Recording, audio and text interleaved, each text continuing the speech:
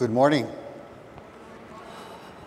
I'd like to begin by first acknowledging the Tiwa, the Tewa, the Towa, and the Keres speaking people of this region.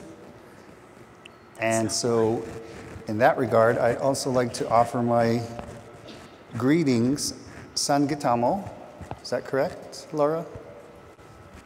Osio, Buzu, Sego, Ang, Yate,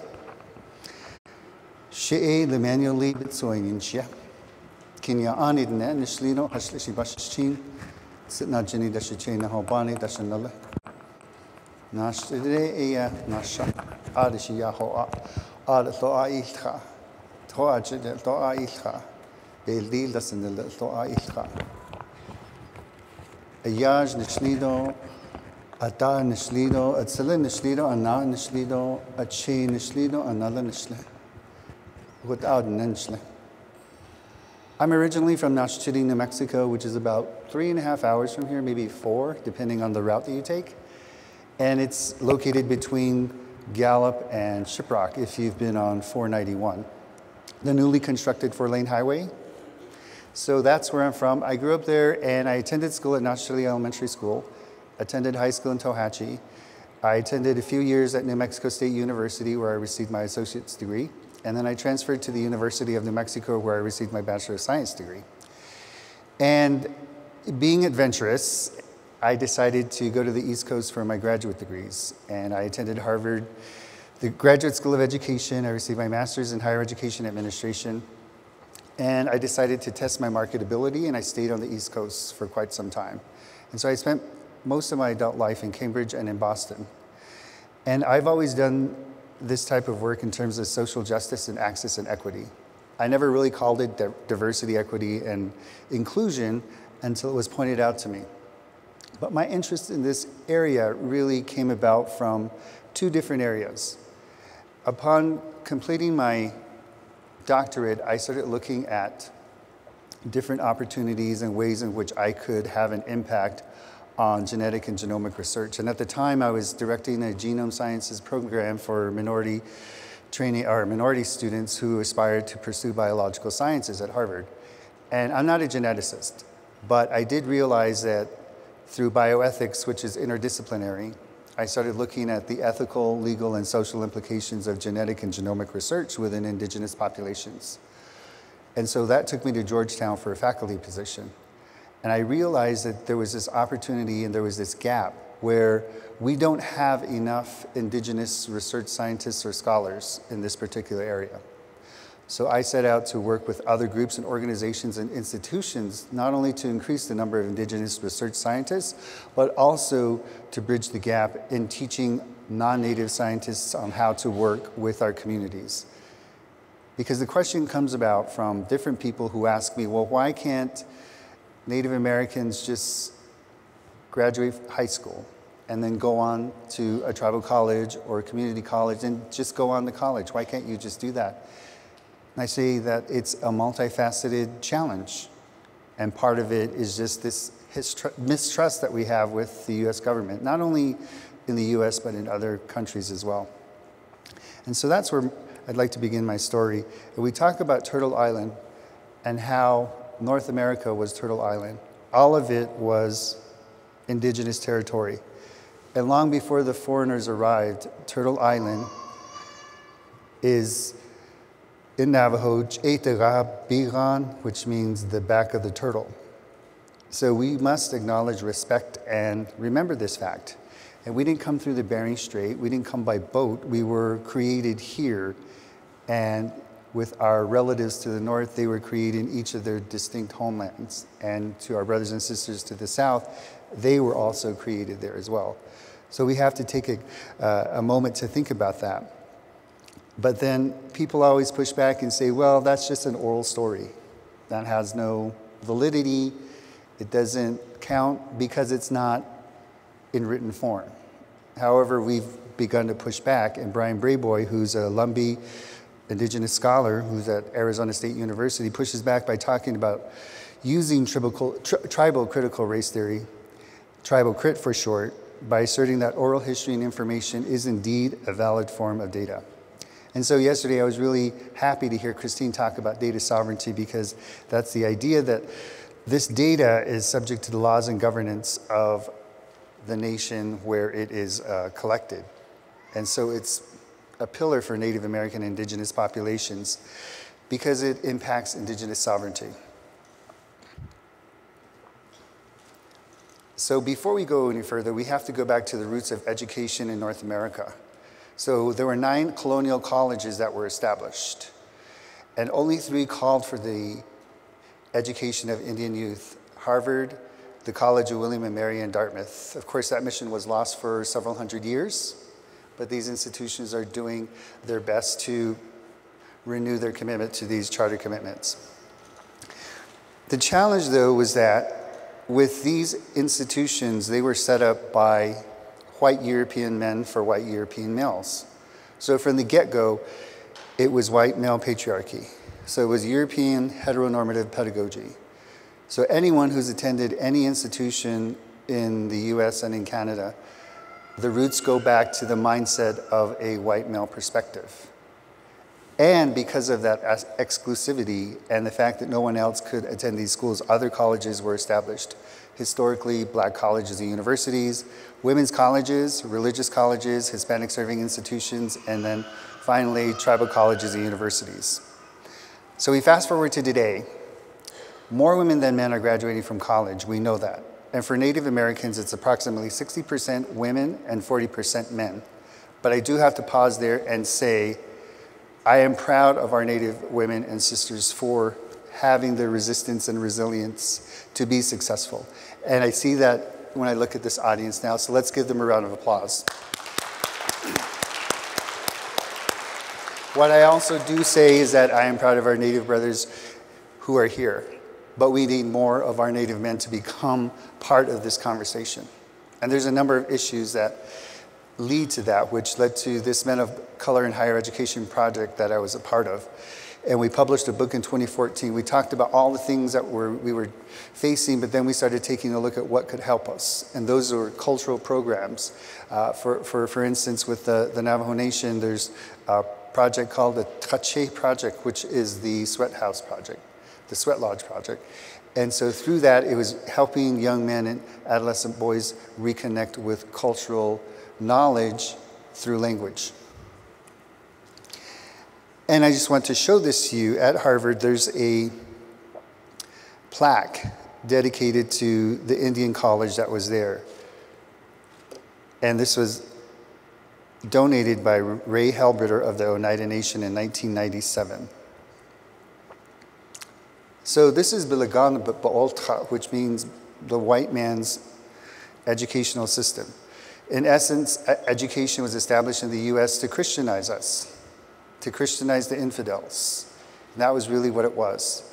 So we have the impact of not only education, but also Christianity, historically, but also in contemporary times. And you've heard this before in other presentations, which led to the establishment of federal government boarding schools. Colonel Henry Pratt, whose infamous motto was to kill the Indian to save the man. And so, again, I go back to the Harvard Indian College, which housed the, the college, the college's first printing press. And that was where the first Bible in North America was printed, and the Bible was a translation into the Algonquian Indian language. So even there, you see where that precedent was set. And it was really the same ethos that guided the establishment of government and church run boarding schools. So we take a look at this word cloud, and these are all the words that we use removal, shame, loss, trauma, illness, abuse, boarding, family, gender, disease, language, school. So if you can imagine, just for a few seconds, being woken up, being roused out of bed. And I'm going to do this in Navajo for you.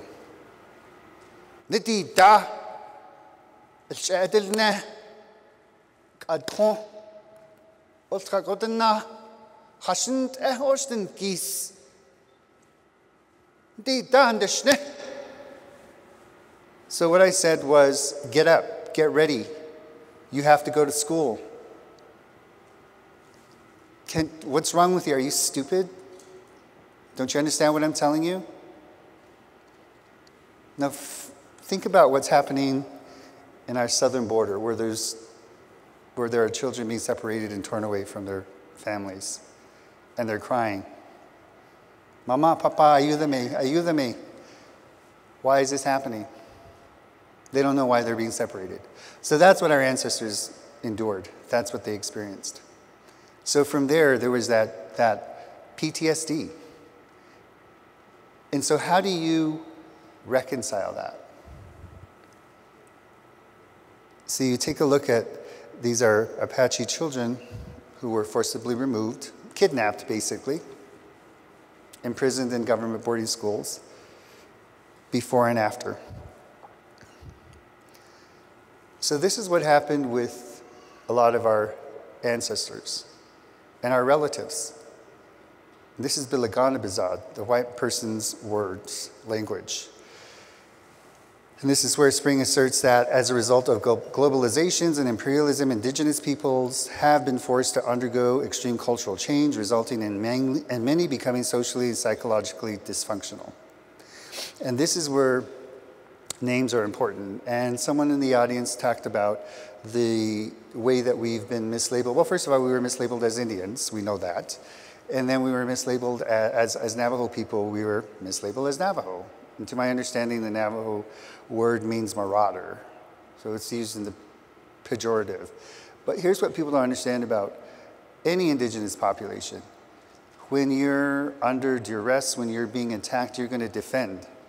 So we're warriors. We have male warriors, we have female warriors. We're protectors of our land. And that's why when you take a look at the percentage of the participation of people who join the military, there's a higher percentage of Native Americans who joined the military because it's part of our DNA and who we are because we're defending our motherland. We're defending Turtle Island. That's where that comes from. And so, again, names are important. So that's how we, as the Navajo Nation, still use Navajo, but have owned it and said, this is who we are. But we're also talking about Dene, the people of the land.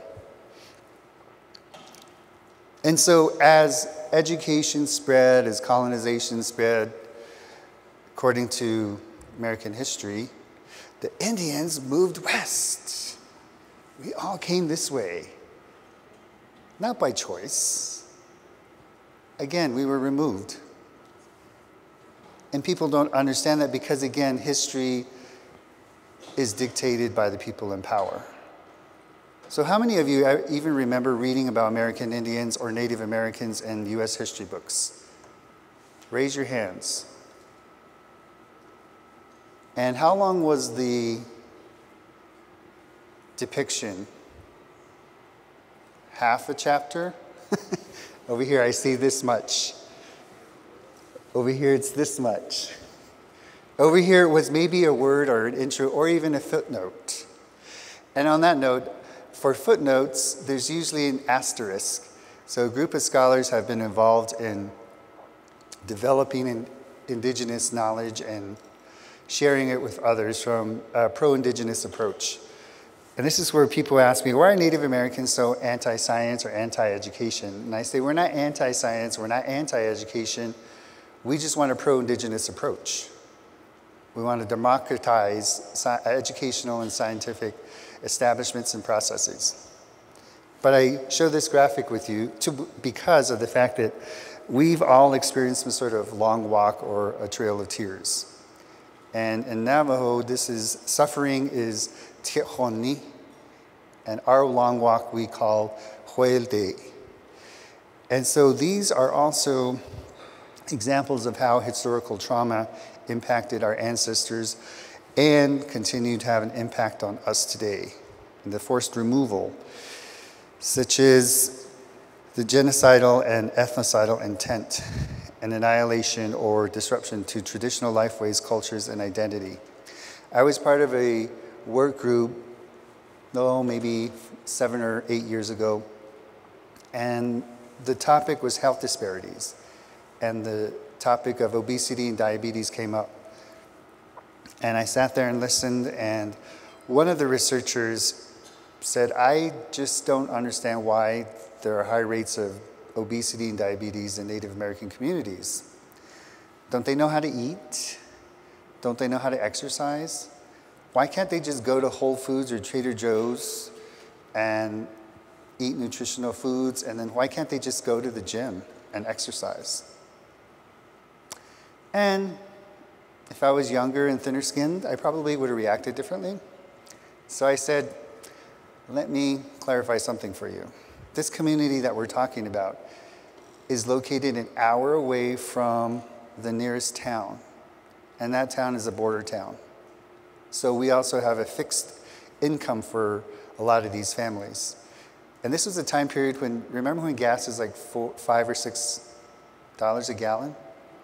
And then on reservations, it was even higher. So I said, think about that.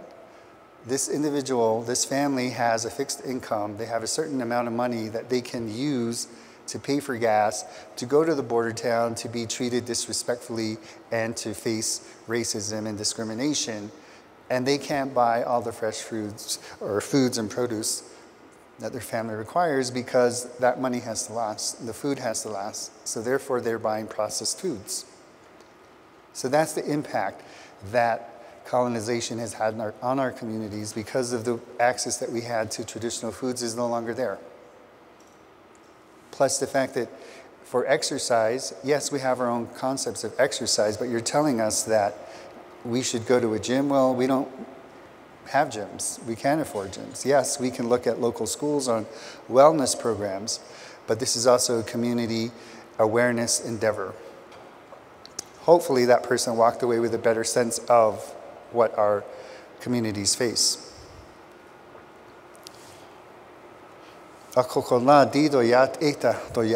Which means this is not good, this is, not, this is harmful to our communities. So Walters and her colleagues found that historical trauma events that disrupt ties to family, community, or place, such as a boarding school, forced relocation, they may be associated with depressive symptoms and they cause direct physical harm to the community, the body, the land, our sacred sites. And in this time and with this current administration, we are facing reduction in our lands. I don't know how many of you heard about this, but the Mashpee Wampanoag were unrecognized. How many of you heard about that? So again, that's an encroachment of our tribal sovereignty. So this is all tied back to language and culture. Because once we no longer speak our languages, we're going to be just like anyone else. And with that is going to, one fell swoop of a pen, people are going to say, well, you're no longer distinct. You don't have a distinct language. You don't have a distinct culture. Why should you have sovereignty? Why should you have your own land? And that is inevitable if we lose our languages and cultures. But I have, I have hope. And that's why I'm here, and that's why you're here. And there are a lot of people who challenge language programs. I was working on a project as a, uh, in graduate school, and I was working with the, my own community, and I remember interviewing a community member who was also part of the educational system. And they said, What are your thoughts on Navajo language?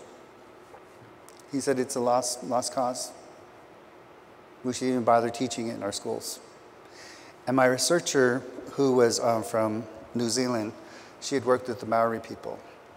And I felt her reaction. She was sitting to my right. And I said, okay. Again, I had to take notes with these uh, interviews. So we left as we were driving away, she started crying. She said, I can't believe he just said that. And I said, Well, th- those are the challenges that we face. But this is also where internal oppression and internal racism comes about. And this is where we have to educate ourselves. We have to take responsibility and hold those others, our, our community members, accountable as well. Because our children have a right to speak their indigenous languages, it's their civil right. Why should we deny them that? And this is also a communal effort. Not only is it going to be the responsibility of our, each of our tribal nations, but it's also our community leaders, our elders, and our schools.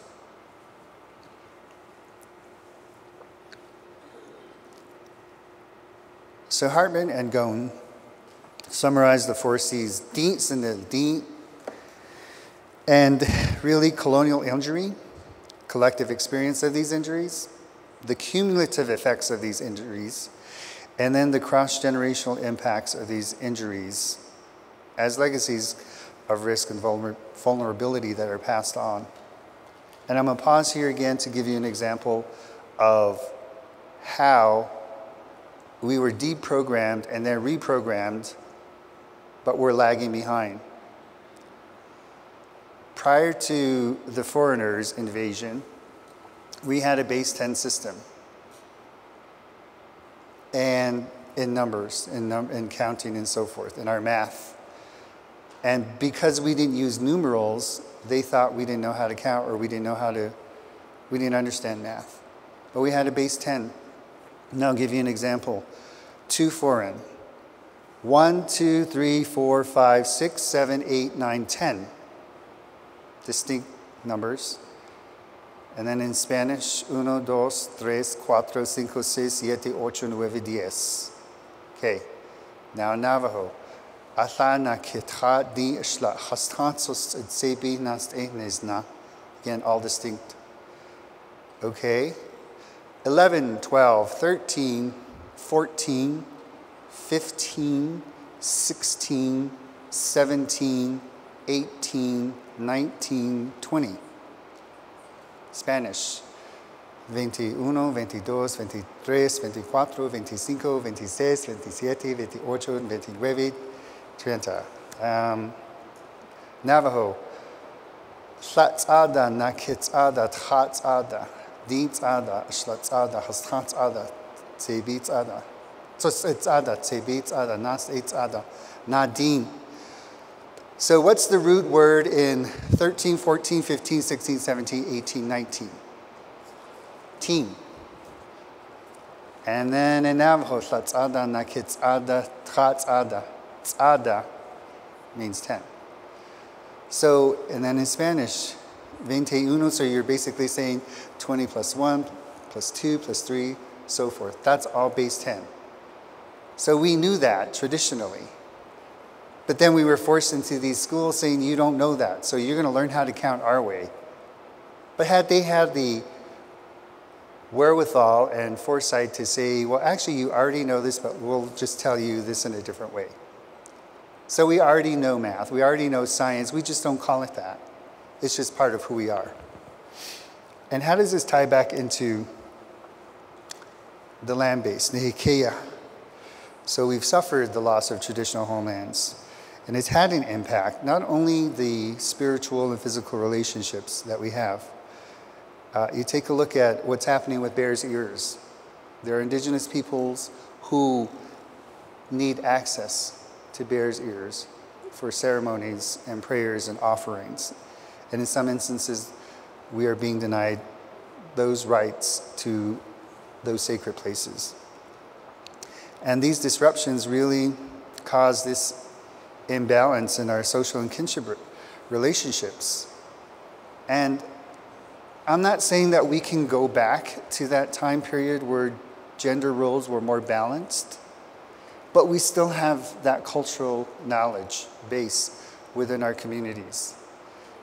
And how do we access that? We access that through language, through comprehension of language, through the passing on of stories. And I had a, a sort of Tony Hillerman. Okay. How, how accurate do you think his depictions are? Más o menos como se como sa, right?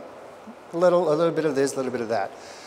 But basically, I had a conversation with uh, a Latino colleague of mine who was married into one of the pueblos, and, I, and the, his name came up in this conversation. I said, Well, I don't really care for him because he gets things wrong and just perpetuates these myths about Native Americans.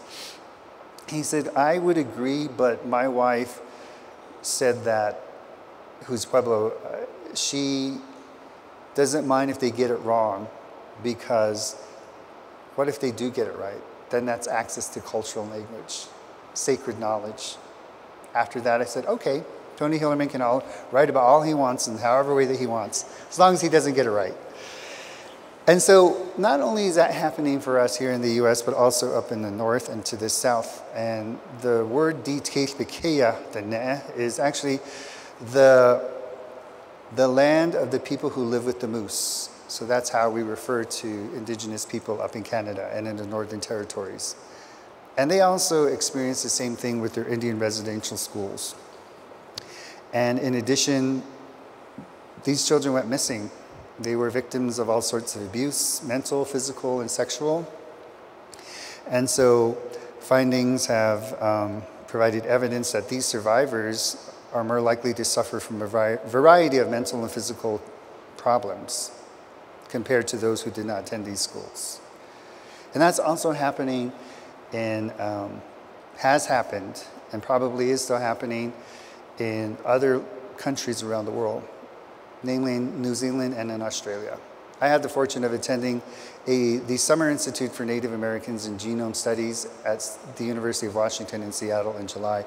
It's, it's called SING for short, and uh, I, I, had the fortune of talking about this with some of my uh, Maori relatives, and they also are reconciling this residential school experience.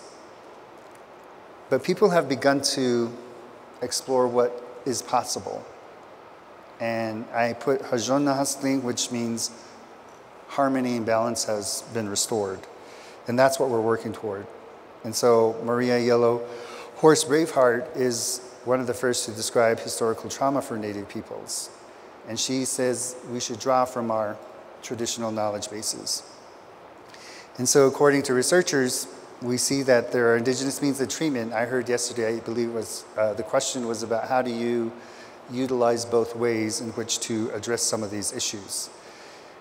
And it's, it could include language, the traditional foods, ceremonies, spiritual beliefs, history, stories, songs. But all of that comes from language. And those are the challenges that we face. If we I'm not saying we have all the answers and all the answers can be found, but certainly a hybrid approach in this day and age would be helpful to us. So the title for this is Bilagana Dod So foreigners working with Navajo or indigenous people, that's where we can find strength. That's where we can find some solutions, plausible solutions. And this is where the whole topic of epigenetics comes into play because of those stressors that our ancestors experienced what they ate, what they saw, what they drank, what they, the air that they breathed, the trauma that they experienced could trigger some sort of predisposition or a signal to cause a predisposition for an illness or a disease or a condition that may be ongoing. And that's what our communities face. And so, again, this is where I, am happy to be here. I'm thrilled to be here because it allows for me to make connections with other people who are engaged in this work, to work collectively toward finding solutions to help our communities and the seventh generation, as Oren Lyons says. So that's what we need to do. And so, again, mind and body balance can occur through the healing process. Part of that healing process for some for our indigenous communities and populations. And really healing comes about from reconciliation and acknowledging something that went wrong. And in Australia, the Australian government apologized to the Aboriginal people. How many of you heard about this or are aware of this? Good. So the Prime Minister in 2008, over 10 years ago, acknowledged that for the stolen generations. For the pain, suffering, and hurt of these stolen generations, their descendants, and for their families left behind, we say sorry. To the mothers and the fathers, the brothers and sisters, for the breaking up of families and communities, we say sorry. That has also happened in Canada. This is a photo of one of the religious schools for Indigenous people, for First Nations people. It was also over 10 years ago that the Prime Minister of Canada apologized to First Nations people. Far overshadowed by tragic accounts of the emotional, physical, and sexual abuse and neglect of helpless children and their separation from powerless families and communities. And so they've made that apology as well. Here's a photo of that occasion. Now, where do we go? Should we ask the US government for an apology? Should we demand one? We certainly deserve one, don't you think? Yes, I think so. So I've been working with the National Indian Education Association regarding how we can collaborate, and I just added the National Native American Boarding School Healing Coalition because there's another potential partner for me and collaborator. And how can we address this on the national scale? How do we do this with tribal communities? How do we address urban and reservation communities? How do we do that? But I do have to pause there and, and say, are we ready for this? Are our community members ready for this? Are we ready for an apology? Well, yes. But we received the classic non apology apology. And this was back in 2009. Senator Brownback originally introduced the measure to officially recognize the past ill conceived policies of the US government or Native peoples. And then it was signed into law by President Obama, but it was watered down. It did not make a direct apology from the government, but rather apologizing on behalf of the people of the United States to all Native peoples for the many instances of violence, maltreatment, and neglect inflicted on Native peoples by citizens of the United States. But the resolution also included a disclaimer nothing in it authorizes or supports any legal claims against the United States, and the resolution does not settle any claims. So, sort of said, uh, oh, kind of sorry, but not really. so we have no financial obligation for anything that's tied to the mistreatment and the injustice we've suffered for hundreds of years, and in some instances still continue to suffer. So the National Indian Education Association passed a resolution in terms of establishing a commission on the federal Indian boarding school policy. So they want to create this commission to conduct a study nationally, to plan, design, and carry out its work in collaboration with tribal people and communities, and receive ver verbal and written testimony from boarding school survivors. And in their, their, their, to my understanding, some of you have experienced boarding school experiences. And to take these recommendations from the people who suffered and had this experience, and raising public awareness about this, and recommending community support for these culturally appropriate, community-led remedies that lead, that include the participation of the survivors' families, native communities, and tribal nations. And this was passed in 2013. So with that, let's flip that downward arrow that I showed you the first time around. Let's turn it back up. Turn it around because we can be in control of this. I talked about democratizing scientific research, any sort of research, taking a pro-indigenous research or approach to this. We own this, we can own this even more so. Because I look out and I see a lot of indigenous scholars who are interested in this. And I do have to say though that there was also the benefit of the government boarding school experience. For some individuals, this was a haven for some individuals, this was their only choice. And for some individuals, they were able to see and maintain a balance. And for some individuals, this led to their success in, in, in having a career. and has had an impact on families. And so, personally, my mother went through this boarding school experience. And um, I tell her story because she was an activist before she was an activist. And she attended three government boarding schools and a parochial school. At each of the three government boarding schools, anytime she had, she had to choose a new one because she was labeled a problem child. Why do you think she was labeled a problem child? I see this.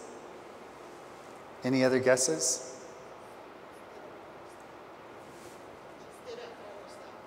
She stood up for herself.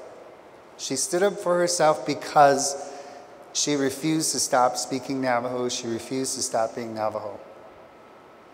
And when she was getting ready to be passed on to the high school at the parochial school she attended, she was given a choice. She was told, okay, we want to promote you and move you on, but we're not going to do that unless you give up your language, your culture, everything that you believe traditionally, whatever it is that you believe. You leave it here and we'll promote you. And she said, no. If this is what education is about, I'm not going to give it up. You can keep your education. I'm going to go on and see what I can do. So she went on to work in a school cafeteria, and after a 40 year career, at the end, she was the cafeteria manager. And that was a time when you could advance without a high school diploma or a college degree. But she thinks about that experience, and that's where the value of education was instilled in me. And um, sometimes she used to muse, I wonder what I would have done had I gone to college. I wonder where I would have been if I had graduated high school. I wonder what I could have done. And I tell her, that's okay, mom, because those sacrifices that you made have allowed us to advance in education because I was able to grow up in a bilingual home. So I didn't really understand the importance of being able to speak the ne was when my late grandmother and I would have conversations. I visited her every once in a while. And she would tell me stories, but I couldn't ask questions because I wasn't fluent. That led me to study Navajo intentionally. So when I was at the University of New Mexico, I studied the Navajo language. And I'm now fluent. I can read it, I can write it. With that, I went back and had even more profound and meaningful conversations with my late grandmother. I'd ask her stories and our questions. And sometimes when we were a room and the conversation gravitated toward uh, English, she would say, Yad ladahne, yad ladadahne, bilaganini danohle. Meaning, what in the world are you talking about? You're not white people. Oh, so ah, ah, you know, she kept us in check. And that's what my mother does with me as well. I come home and um, I'll be heading home in a couple of days. I certainly don't go home dressed like this. This is, you know, what I wear at work. And um, if I do come home, she'd say, Why are you so dressed up? Where are you going? Look at this now. The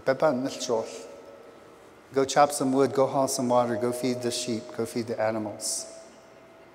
You're going to mess up your, your nice clothes, she tells me.